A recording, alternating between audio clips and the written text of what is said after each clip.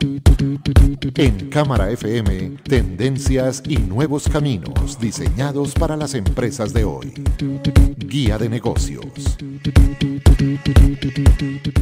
Hola, bienvenidos a Guía de Negocios. Este es un espacio creado en Cámara FM para hablar de las tendencias de la industria. ¿Quién pudiera pensar que una empresa con 70 años dedicada a la venta de vehículos tuviera que decir, después de todo ese tiempo, que repiensa su modelo de negocio y se debe dedicar, por ejemplo, entre otras cosas, a alquilar vehículos y no a venderlos? Por ejemplo, para poner un caso bastante emblemático en la industria antioqueña, cambios de ese tipo son los que se están dando y de los que conoce muy bien el clúster negocios digitales y particularmente el Centro de Desarrollo de Negocios Digitales cuyo director nos acompaña en Guía de Negocios. Él es Rubén Cadavida. Ana Catalina, de temas tan diversos como este y tan disruptivos y sorprendentes, es de los que pretendemos hablar en, esta, en este capítulo. Así es, Andrés. Nuevamente nos encontramos para hablar de lo que está pasando en el territorio, alrededor de todas las industrias, de cómo podemos encontrar oportunidades eh, propuestas de negocio distintas, ya sea para los negocios tradicionales que ya tenemos o para crear o generar otras ideas y crear un nuevo eh, negocio. Así que hoy vamos a hablar de algo que definitivamente nos toca a todos y es transformación digital, negocios digitales, que yo creo que a todos nos permea. Rubén, empecemos por ese caso que poníamos. No solamente se trata de incorporar una tecnología para encontrar una solución o para acceder de una manera distinta al mercado, sino incluso sentarme a pensar que tengo que hacer otras cosas si quiero permanecer en el tiempo. Eh, es un buen eh, es muy buen caso el que pones porque pues, precisamente es, es interesante analizarlo un poco más eh, rápidamente. Y es qué está pasando, partimos qué está pasando en la ciudad, y en el país. Eh, Medellín es la ciudad que más vehículos híbridos eléctricos está vendiendo en el país y uno de los, entiendo tal vez que en Latinoamérica, pero, o uno de los más significativos en Latinoamérica. Estamos hablando de bicicletas eléctricas, de motocicletas, de monopatines, eh, de, de patinetas, exacto. Entonces, digamos que hay un movimiento muy grande. Hay, hay una situación crítica que ya sabemos que es el medio ambiente, en donde hemos venido también tomando conciencia. Entonces hay unas variables de entorno que impactan a los vendedores de vehículos tradicionales y tenemos muchas empresas en la ciudad eh, que, que, están en este negocio. Eh, llega una de estas empresas y nos, digamos, eh, nos, nos consulta acerca del proceso de transformación digital. precisamente lo que le recomendamos es un ejercicio de, de planeación estratégica en transformación digital, pero eh, teniendo en cuenta dos aspectos importantes. Uno, eh, trabajando con ellos en el tema de, tendencias en esta industria, partiendo de macro tendencias que hay en el mundo. Y segundo, eh, de un tema de, cambio de cultura en la organización. entonces, cuando hablamos metodológicamente de hacer un proceso de planeación, estratégica en transformación digital, pues obviamente contamos con los directivos y se hace una discusión basada en las nuevas tendencias y en lo que está pasando en la región. Entonces, de nuevo, eh, eh, digamos, soy muy reiterativo de que esto no es un problema tanto de, la tecnología, sino de la capacidad que tiene la gerencia y la, Junta digamos, de visualizar eh, qué nuevos negocios eh, basados con esas variables de entorno se pueden desarrollar. Eso en parte es lo que hemos tratado de hacer con esta empresa. Rubén, y este ejemplo nos sirve para para entender un poco eso de transformación de la esencia o el ADN del negocio o el core del negocio. Pasamos de vender carros a preocuparnos por movilizar personas. Entonces, evidentemente, las prioridades empiezan a cambiar. Sí, definitivamente, y de, eso en parte se trata. Eh, es muy importante entender qué logro yo como empresa eh, con respecto a un proceso de transformación digital. En, gran parte depende de los del nivel de madurez que tiene mi organización. Yo puedo, eh, eh, digamos, invertir en tecnología para mejorar en términos de eficiencia mi negocio, ser más productivo, ser más eficiente, reducir mis costos, reducir mis tiempos de entrega a mis clientes, etcétera. Eso es el tema de productividad y eficiencia o puedo ser un poco más avanzado en donde voy a mejorar, tomo la decisión de utilizar la tecnología para mejorar o diferenciarme en el mercado. ¿En qué aspectos? En cómo en mi relación con el cliente y en el diseño de nuevos productos y servicios. Ese es otro nivel más avanzado de utilización de la tecnología. Y hay un tercer nivel más, aún más sofisticado, que es más innovador y es cuando definitivamente tomo la decisión de, de cambiar mi modelo de negocios. Entonces, en el caso eh, de, de, Autolarte, precisamente pasó eso. Ellos toman decisión eh, de que, aun cuando toda la vida han vendido vehículos, deben pasar de entender, deben pasar de vender vehículos a vender soluciones de movilidad y obviamente son varios proyectos, pero uno de ellos, ese es uno muy representativo y otro también tiene que ver con el tema de, cómo mejoran la experiencia del cliente en varios de los puntos de contacto con el cliente que tiene un concesionario. No solamente en procesos de pre, postventa, pre, preventa, venta y postventa. Entonces, es una decisión interesante, es un ejercicio muy interesante que está haciendo Autolarte y ya han venido avanzando en sus temas de, de evolución de cultura y de, eh, digamos, todo el diseño de esos nuevos eh, sistemas que van a soportar el nuevo negocio.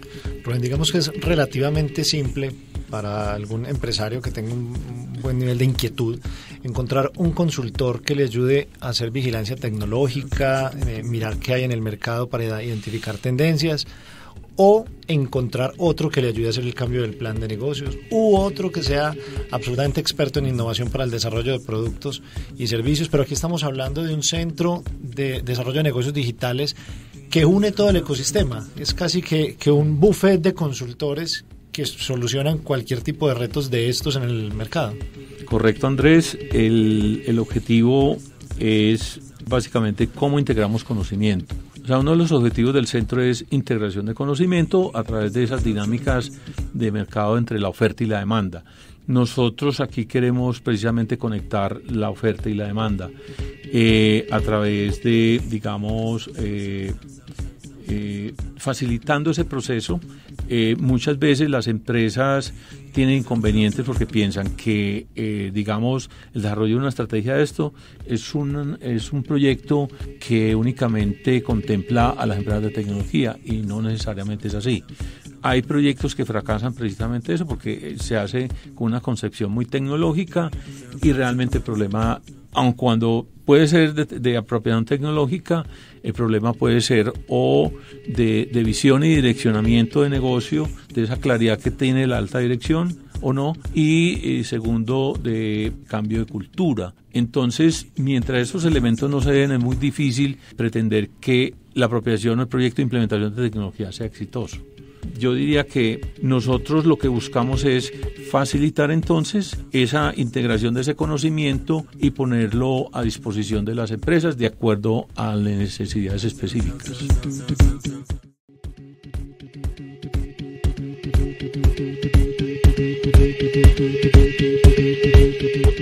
En esto siempre se presenta la inquietud, bueno, ¿qué tan costoso es? ¿Qué tanto esfuerzo económico le va a representar a mi compañía incorporar algún, algún tipo de solución de este estilo o un conocimiento de este estilo comparado con los beneficios que vaya a recibir? Allí, ¿qué mensaje hay que dar al empresario?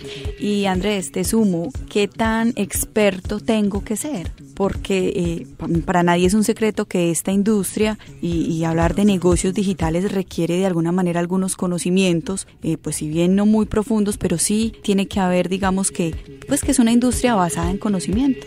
Yo diría que el, el, el factor fundamental de, un proceso de implementación eh, radica en la voluntad que tiene la alta dirección de, llevar a cabo un proyecto de este tipo. La, las capacidades se van dando a medida que tú vas introduciendo esa tecnología. Eh, vamos a poner un ejemplo. Eh, ha sido muy interesante algún caso de, empresas en el sector de energía que, pasan de, de, ser expertos en eficiencia energética, o sea, muy enfocados hacia el tema de ingeniería eléctrica como tal, a ser empresas de datos, eh, fundamentadas en datos, o sea, se vuelven empresas de analítica. O sea, ¿por qué? Porque finalmente yo puedo intervenir un edificio para que sea más eficiente eh, eh, en términos de energía, de uso de energía, Pero si yo, a través de, de sensórica, de dispositivos, controlo múltiples dispositivos del edificio, yo puedo tener un control en tiempo real del edificio y tener intervenciones en tiempo real del edificio, haciendo que el edificio sea aún más inteligente y más eficiente en su gestión de energía. Entonces, lo que, lo que es importante es cuál es mi capacidad gerencial, qué, qué voluntad tengo yo y cómo está, digamos, mi evolución como, como gerente para llevar a la organización de un punto a otro, en donde ese punto, llevar la organización de un punto a otro, pues requiere un esfuerzo interesante y un liderazgo también de parte de la alta dirección, pero sobre todo entender que quienes participan de ese proceso es toda la comunidad, todos sus, todos sus empleados. No es una responsabilidad del área de tecnología exclusiva, no es una responsabilidad de un área funcional, es una responsabilidad de la alta dirección con todos sus empleados de, de llevar a cabo un proyecto de este tipo digamos, en el conglomerado de soluciones que está ofreciendo el clúster de negocios digitales tiene el apoyo de otras instituciones, de otras empresas y mm, de otras iniciativas que logran hacer un sustento bastante fuerte para que el empresario realmente encuentre un volumen de mm, soluciones a la medida para sus necesidades. De eso vamos a hablar en el próximo segmento.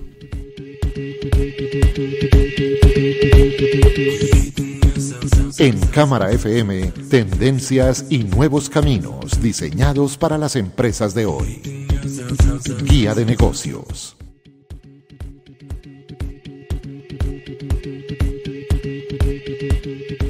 Rubén Cadavid es el director del Clúster de Negocios Digitales, también dirige el Centro de Desarrollo de Negocios Digitales en la ciudad de Medellín que es como lo comentábamos antes de la pausa, un integrador de conocimiento, un buffet de consultoría que tiene muchos tipos de soluciones para empresarios, pero por supuesto no trabaja solo, porque las capacidades son limitadas. Rubén, ¿con quién se hace este trabajo? Digamos que uno de los elementos fundamentales de, un clúster es lograr desarrollar capacidades en el ecosistema. Eh, uno de los propósitos del centro es precisamente eso, cómo desarrollamos eh, capacidades partiendo eh, eh, de las capacidades individuales de cada empresa o, consultor independiente. y eso es lo que yo he denominado en otras oportunidades precisamente creación de redes de valor. La creación de redes de valor parte de, de, un interés que tienen sus, sus miembros, en donde hay un interés por unos objetivos específicos, hay una, digamos, cohesión de grupo, hay, eso significa que hay eh, generación de confianza entre el grupo, hay participación, hay intercambio de conocimiento y de experiencias. Entonces, finalmente, lo que se busca es que esas redes de valor sean eh, realmente redes de crecimiento de los mismos empresarios que, que están, digamos, participando en, en, proyectos específicos. ¿A qué me refiero? A que yo puedo tener un, como, como empresa de tecnología, puedo tener un portafolio específico y puedo tener una especialidad. Pero yo puedo complementar mi capacidad a través de, de otros participantes del equipo o de otras empresas y esa suma de capacidades pues se vuelve en un elemento muy interesante de mercado y de crecimiento de los mismos miembros, eh, digamos, de una manera muy natural. Eh, se puede convertir también en una forma de estructurar nuevos productos y servicios eh, a través del grupo, se puede convertir en, digamos, en la forma de intervenir masivamente empresas o instituciones porque existe precisamente la capacidad para hacerlo. Al intervenir masivamente empresas e instituciones se generan economías de escala que normalmente no se generan cuando yo trabajo independientemente. Entonces yo diría que tiene una serie de beneficios muy interesantes que además de poder desarrollar un, un negocio o un proyecto para alguien en particular, también facilita enormemente el crecimiento de las empresas que hacen parte de ese grupo. Rubén, yo soy empresaria, toco la puerta del Centro de Negocios Digitales y ¿qué me empieza a pasar? ¿Tengo que tener algún requisito? ¿Tengo que tener, ustedes evalúan si si puedo ingresar o cómo se hace para saber si puedo estar en este ecosistema de negocios digitales? Bueno, en principio el, el centro es relativamente nuevo. Nosotros venimos trabajando de manera muy, yo lo llamaría un poco experimental con un grupo de empresas que han sido muy afines en, en el clúster, que han participado en, en, digamos, en muchas dinámicas de clústeres que son muy activos en el clúster. O sea, con ellos tenemos una generación de confianza eh, mutua, diría yo. Entonces, ese ejercicio lo estamos haciendo prima, eh, primeramente con un grupo gestor, como lo denominamos. Lo que pasa es que sí lo queremos luego, cuando tengamos el modelo más consolidado, abrirlo precisamente a empresas que quieran participar. De hecho, ya tenemos en lista un, un conjunto de empresas que estarían interesadas en participar en, en, en ese grupo de aliados. Es la dinámica que queremos llevar en el clúster en donde queremos que esa sea la evolución misma del clúster de manera más natural. Eh, pero obviamente eso nos exige pues crecer un poco en, en experiencia y eh, sobre todo madurar un poco más el modelo eh, que llamamos el modelo de aliados. Hay una cosa importante que con este grupo de aliados estamos eh, no visualizando, sino estructurando un proyecto que lo denominamos el desarrollo de un centro de experiencias digitales que complementaría mucho el, el, trabajo que haríamos con las empresas, porque el centro lo concebimos como una forma no solamente de sensibilizar al empresario que quiera un, en un tema específico, sino también que quiera, eh, digamos, conocer más eh, herramientas eh, asociadas a, a, a, tecnologías específicas. Ya más tipo laboratorio. Es, es una especie de laboratorio, pero no solamente para ayudarles a resolver el reto, sino a entender cómo la tecnología puede ayudarles a resolver ese reto y llegando hasta, ojalá, hasta un proceso de prototipado. Hasta ahí más o menos es donde queremos llegar. Y la idea es definir ciertas temáticas o tecnologías en las cuales nos podamos enfocar inicialmente porque no podemos coger todas, pero eso ha sido totalmente con, con la participación de este grupo y en donde partimos de las capacidades que tiene cada una de estas empresas o, consultores es, eh, específicamente.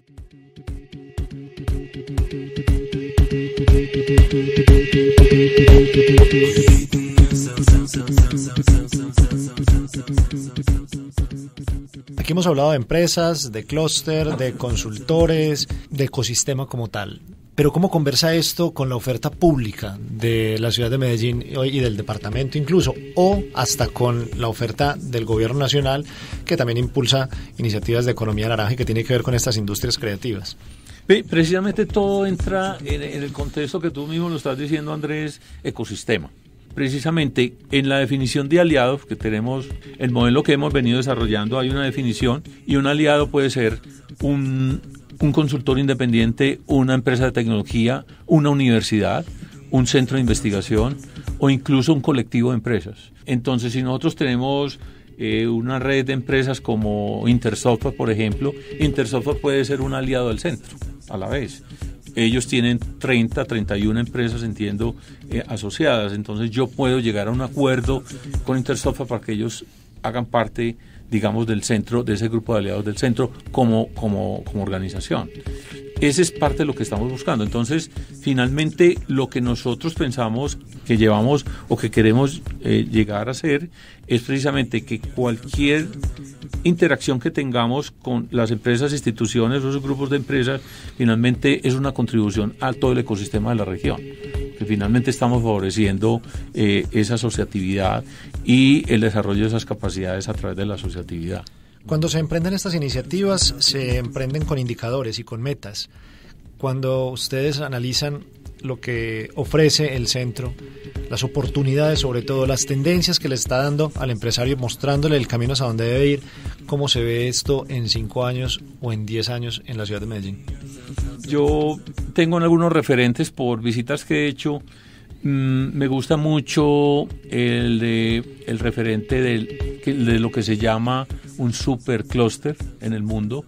Eh, los países más desarrollados tienen supercluster. Uno de ellos es Waterloo, en, cerca de Toronto, en Canadá. Eh, tuvimos oportunidad de visitarlo, algunos de nosotros en el 2018, en donde la ciudad es una ciudad muy universitaria, está, yo diría que parte del área metropolitana de, de, Toronto, en donde hay una gran capacidad de no solamente académica, sino de investigación y desarrollo y de desarrollo de nuevos negocios, emprendimiento. La ciudad toda está en función de, digamos, de, de esa, yo diría, de esa dinámica de, de, negocios y de emprendimientos basados en innovación, en donde existen centros, eh, digamos, de innovación eh, que visitamos, en donde tú ves, por ejemplo, a una oficina en el centro de la General Motor pero al lado de General Motor Canadá hay un conjunto de, de, de empresas pequeñas y emprendedores desarrollando eventos eh, digamos, muy sofisticados, muy innovadores para, para General Motor. Eso, esas dinámicas que, digamos, que de alguna manera es la dinámica que busca la ciudad, eso no es exclusivo del clúster, yo me refiero es a la ciudad como tal. Eh, yo pienso que la ciudad tiene un ecosistema que ha venido creciendo y desarrollándose, pero hay que reconocer que el ecosistema tiene que tener una mejor integración como tal y que tiene que haber, digamos, una designación de roles y funciones más clara eh, entre las diferentes instituciones. Entonces, eso es lo que yo visualizaría en unos cinco años. Siempre es muy útil, ya para terminar, que nos quedan unos cuantos segundos, escuchar de un experto un mensaje a los empresarios que nos están escuchando, a quienes tienen inquietudes, a quienes quedaron motivados por esta conversación tienen necesidades, quizá en la tecnología haya, eh, o en el cambio de cultura o en el acompañamiento general, haya oportunidades. ¿Qué decirles a ellos? Yo diría que hay una gran, digamos, en la ciudad, en la ciudad y en la región, venimos desarrollando capacidades muy interesantes en donde cada vez necesitamos que haya una confluencia de capacidades e intereses institucionales eh, con un objetivo cada vez también más, más eh, digamos, alineado entre esas diferentes instituciones para que con las empresas, junto empresas, instituciones, universidades, trabajemos juntos y, eh, digamos, crezcamos toda nuestra economía basada en, el desarrollo tecnológico y en el crecimiento de nuevas oportunidades a través de emprendimientos eh, sofisticados en donde podamos exportar productos y servicios y no nos quedemos únicamente concentrados en el mercado local. Es Rubén Cadavid, director del clúster Negocios Digitales,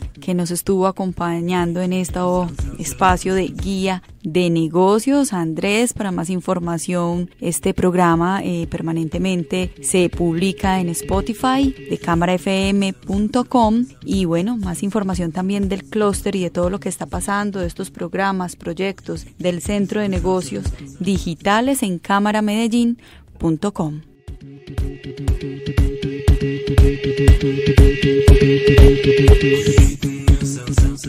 En Cámara FM, tendencias y nuevos caminos diseñados para las empresas de hoy. Guía de negocios.